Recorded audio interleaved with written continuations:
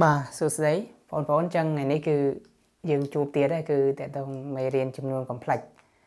ឥឡូវយើងមើលទាំងអស់គ្នាយើងឃើញលំហាត់នេះគឺវាលំនាំទៅនឹងលំហាត់មុននេះគេខណៈដូរលេខតិចទេអញ្ចឹងលំហាត់មួយមួយវាមាន ការដោះស្រាយផ្សេងផ្សេងគ្នា ការដោះស្រាយដូចដូចគ្នាបើសិនគេដៅដូរលំនាំវាដូចគ្នាអូខេតោះ អញ្ចឹងយើងមើលប្រធាននៃគេសួរគេថាសរសេរចំនួន complex set បាទនេះជាទម្រង់ត្រីកោណមៀតបាទអញ្ចឹងទម្រង់ពេជ្រគណិតនិងទម្រង់ត្រីកោណមៀតតើបងអូនស្គាល់ពីទម្រង់វាសិនហើយយើងព្យាយាមដើរឲ្យដល់កោដៅទៅគឺយើងអាចដោះឃើញចម្លើយអញ្ចឹងដូចគ្នាលំហាត់នេះអញ្ចឹងយើងមើលលំហាត់មួយនេះយើងមើលតែក្នុងវានេះយើងមើលក្នុងវងកញ្ចក់នេះដក3បូក 3e អញ្ចឹងដក3បូក AE លើកស្វ័យគុណ4ទៀតអញ្ចឹងគោលដៅដែលបងត្រូវដោះយើងឃើញអានេះគឺតម្រងពេជ្រកណិតហ្នឹងអញ្ចឹងអានេះគឺតម្រងអីគេ A បូក 3E ដែល A យើងគឺដក3ហើយ B យើងគឺលេខ3ហ៎អញ្ចឹង A ដក BE sorry A បូក BE អញ្ចឹង A បូក BE ជាតម្រងពេជ្រកណិតអញ្ចឹងគេឲ្យសរសេរអាហ្នឹងទៅជាតម្រងត្រីកោណមៀតអញ្ចឹងបើយើងចង់សរសេរតើយើងសរសេរអាក្នុងនេះហើយយើងស្វ័យគុណនេះចាំយើងតម្លាក់មកក្រោយឯង យើងទម្លាក់មកក្រោយអូខេតោះឥឡូវខ្ញុំចាប់ដើមដោះឲ្យតែម្ដងអញ្ចឹងយើងមើលសិតយើងគឺដក3បូក 3e បាទលើកជាស្វ័យគុណស្វ័យគុណ4អញ្ចឹងអ្វីដែលយើងត្រូវគិតទី1យើងឃើញអានេះគឺ3 3ដូចគ្នាអញ្ចឹងយើងអាចចាប់3ចេញមកក៏បានដែរអញ្ចឹងយើងចាប់3សិនមកអញ្ចឹងខ្ញុំអាចចាប់3ចេញអញ្ចឹងវាសល់ដក1 បូក e ស្វ័យគុណអាហ្នឹងគឺស្វ័យគុណចេះ4អូខេបើយើងដាក់ថាកន្លែងនេះ4តើយើងដាក់អានេះ4ដែរព្រោះអានេះ4នេះវាស្វ័យគុណរួមណាស្វ័យគុណរួមអញ្ចឹងយើងអាចតម្លាក់វាមកនេះយើងអាចតម្លាក់4មកនេះមកអញ្ចឹងបាន3ស្វ័យគុណ4 1ដក1បូក e ស្វ័យគុណ4បាទបន្ទាប់មកទៀតអានេះគឺ Fibonacci ស៊ីសងវាទៅគឺ81 ហើយទុកវានៅហ្នឹងយើងអាចទុកវាចោលហ្នឹងព្រោះវាជាចំនួនថេហើយអញ្ចឹងដក1បូក e ស្វ័យគុណ4បាទអញ្ចឹងយើងគិតតែដក1បូក e ស្វ័យគុណ4ទេយើងគិតហ្នឹងគឺយើងគិតសរសេរទៅជាតម្រងត្រីកោណមីតអីគេអញ្ចឹងបងអូនសរសេរអានេះមកនេះអានេះបើសិនជាយើងរក air វាស្មើអីគេយើងរក air វា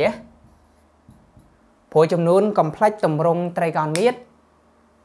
ទី1បងអូនត្រូវ air វាឃើញសិនចំណុចសំខាន់ណាហើយ air គឺវិជ្ជមានបើសិនជាយើងអត់ឃើញ air ទេគឺយើងពិបាកក្នុងការដោះស្រាយឥឡូវយើងមើល air air មានន័យរឹសនៃ a ការ៉េអញ្ចឹង a នេះដក1លើកជាការ៉េបូក b ការ៉េ b 1អញ្ចឹងបាន1ការ៉េបាទអញ្ចឹងស្មើប៉ុន្មាន1បូក1គឺ2អញ្ចឹងរឹសនៃរឹសនៃ2អញ្ចឹងកាលណាឃើញ air ប៉ុន្មានចាប់ air ជាកតា អាហ្នឹងយើងនិយាយតែក្នុងវងកញ្ចក់នេះណាអញ្ចឹង81នៅដាល់អញ្ចឹងយើងចាប់ air ជាកតាអញ្ចឹងចាប់រឹស2អញ្ចឹងវាសល់អីគេសល់ដក1លើរឹស2អានេះមេគុណ1អញ្ចឹងវាសល់1លើរឹស2អ៊ីបាទអញ្ចឹងយើងក្តោបវាទាំងអស់ហ្នឹងគឺស្វ័យគុណ4អានេះគឺស្វ័យគុណ4បាទអញ្ចឹងបន្ទាប់ពីយើងឃើញវាប៉ុណ្ណឹងហើយយើងធ្វើយ៉ាងម៉េចទៀត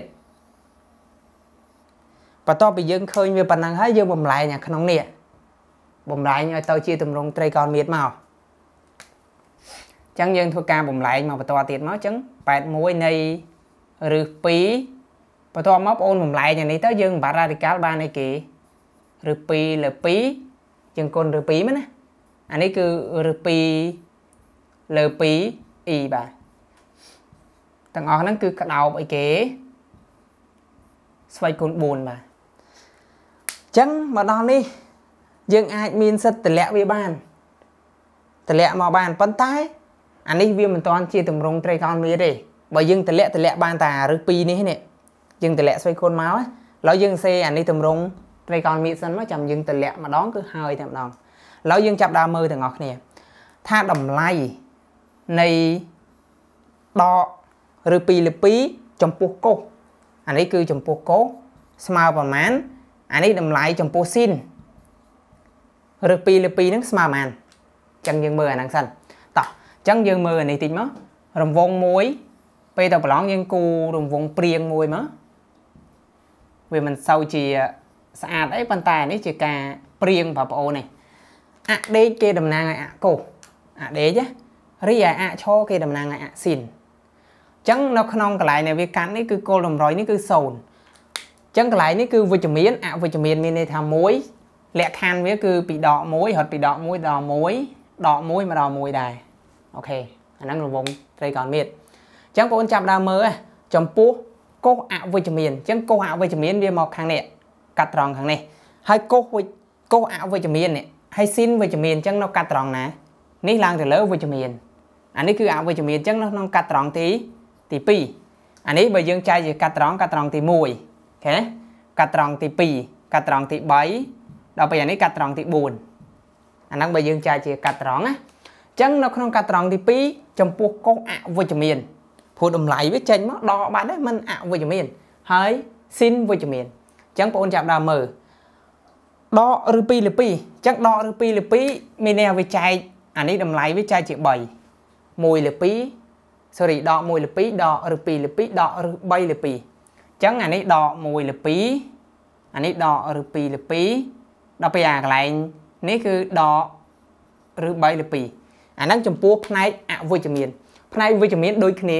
គ្រាន់តែអត់មានសញ្ញាដកពីមុខទេតែប៉ុណ្ណឹងខុសគ្នាប៉ុណ្ណឹងអញ្ចឹងយើងមើលចំពោះស៊ីនក៏ដូចគ្នាដែរចំពោះស៊ីន1លើ2ឬ2លើ2ឬ3លើ2អញ្ចឹងយើងឃើញអានេះជាគោលដៅដែលយើងត្រូវឬ2លើ2 ដកឬ2លើ2អានេះទៅប្រឡងយើងគូអញ្ចឹងមកមិនបាច់ឲ្យវាស្អាតពេកទេបងប្អូនកាលណាលើกระดาษព្រៀងឯណាអញ្ចឹងយើងមើលពេលដែលយើងចំណោកែងវាជួបគ្នាឡើយណាពេលចំណោកែងវាមកនេះអានេះបើយើងគូឲ្យបានល្អមកវាជួបគ្នានេះអញ្ចឹងវាជួបគ្នាឡើយនេះ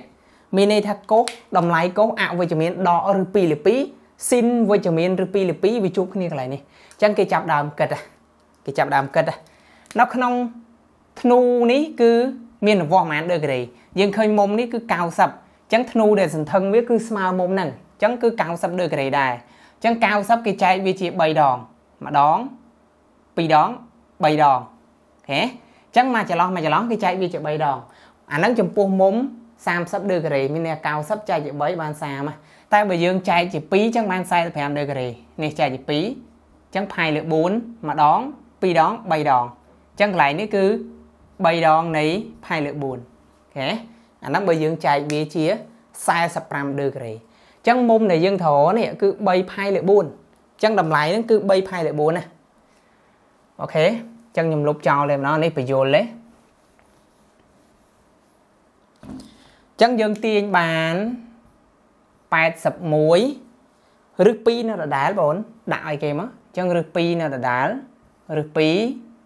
កុសនៃ3ផាយលើ4បូក e ស៊ីននៃ3ផាយលើ4បាទកន្លែងនេះបើយើងចេះរង្វង់ត្រីកោណមៀតគឺងាយទេប៉ុន្តែយើងកុំអស់សង្ឃឹមវាអត់តាន់អីស្មុគស្មាញច្រើនទេមើលវីដេអូមើលហើយមើលទៀតមើលហើយមើលទៀតមើលឲ្យបានច្រើន គ្រូច្រើនបូកបញ្ចូលគ្នាសភៅច្រើនបូកបញ្ចូលគ្នាបងអូនចេះហើយយើងមើលមួយមួយអញ្ចឹងរៀងស្មុគស្មាញតិចកុំតន់ភ័យបងប្អូនដែលទៅរៀនថ្មីថ្មីណា មានន័យថាយើងរៀនមកយូរតែយើងទៅខំថ្មីថ្មីគឺកុំតន់ភ័យតាអញ្ចឹងអានេះស្វ័យគុណនេះយើងតម្លាក់វាមកបានអានេះដែរបានអាគុណមុំនេះគុណមុំនេះដែរយើងតម្លាក់ស្វ័យគុណហ្នឹងមកអញ្ចឹងបានអីគេតោះអញ្ចឹង81ទុកដដែលអានេះយើងបានរឹសនៃ2ស្វ័យគុណ4តម្លាក់វាមកបន្ទាប់មកទៀតកោសនៃមុំនេះគឺ3ផៃលើ4នេះគុណនឹងអា អាស្វ័យគុណនេះបើស្វ័យគុណ n ធ្លាក់មក n អញ្ចឹងអានេះស្វ័យគុណនេះ4បូក e ស៊ីននៃ3ផៃលើ4គុណ4ដែរបិទវិញមកអូខេអញ្ចឹងអានេះយើងកាត់ឬវាចោលមកយើងកាត់វាបានណាវាមិនសល់2សេគុណ2អញ្ចឹង2សេគុណ2វាសល់តែប៉ុន្មានវាសល់តែ4ដែរមិនអញ្ចឹងទេអញ្ចឹង4គុណមកនេះហើយមកអញ្ចឹងវាបាន4បន្ទាប់មកយើងគុណមកនេះមក32 យើងយកអា4ហ្នឹងគុណមក81នេះមកគុណវាហើយមកមិនអញ្ចឹងទេបន្ទាប់មកទៀតកុសនៃអានេះបងសម្រួលវាចោលមកអញ្ចឹង3ផៃបូក e ស៊ីននៃ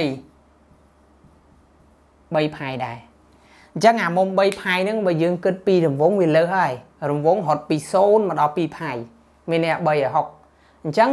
ពី0មកដល់2ផាយអញ្ចឹងយើងអាចកាត់វាចោលមួយ មានន័យថាអញ្ចឹងមានន័យថា កុសនៃ3ផាយយើងអាចសរសេរបានកុសនៃ2ផាយបូក1ផាយអញ្ចឹងអាមុំគូនេះគេកាត់វាចោលបាន2ផាយហ្នឹងយើងកាត់វាចោលបានអញ្ចឹងយើងអាចសរសេរបានមិនយើងអាចសរសេរបាន324កុសនៃអានេះយើងអាចកាត់មកបានអីគេអានេះបានកុសកុសផាយស៊ីនក៏កាត់យ៉ាងបានដូចគ្នាឲ្យតែមុំគូអញ្ចឹងកាត់ចោលទៅបាន e ស៊ីននៃ ផាយដូចគ្នាបាទអញ្ចឹងនេះហើយគឺជាតម្រងត្រីកោណមៀតដែលយើងចង់បាននេះដែលយើងចង់បានអូខេអញ្ចឹងដូចនេះសัตว์យើងគឺស្មើ324កុសនៃផៃបូក e ស៊ីននៃផៃបាទអញ្ចឹងបងអូនមើលដូចយកចិត្តទុកដាក់ទៅហើយ យើងរៀនឲ្យបានច្រើនវីដេអូតិចទៅគឺបងអូននឹងទទួលបានចំណេះដឹងណា